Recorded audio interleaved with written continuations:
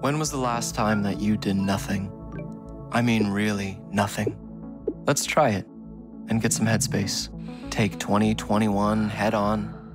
Wherever you are, whatever you're doing, take a moment. I'm taking a big breath in and a big breath out, closing the eyes. A breath in and out. Anytime that I breathe in, I like to imagine some form of love entering through my breath. And as I breathe out, I let go what no longer serves, maybe something I'm carrying from yesterday, and I can allow it to pass.